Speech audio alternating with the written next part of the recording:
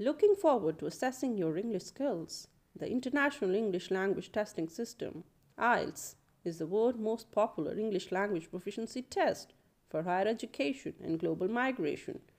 It is designed to assess the language ability of candidates who need to study or work where English is used as the language of communication. Every year, over 3 million tests have been taken, accepted by more than 10,000 organizations in the world. IELTS is developed by the world's best language experts.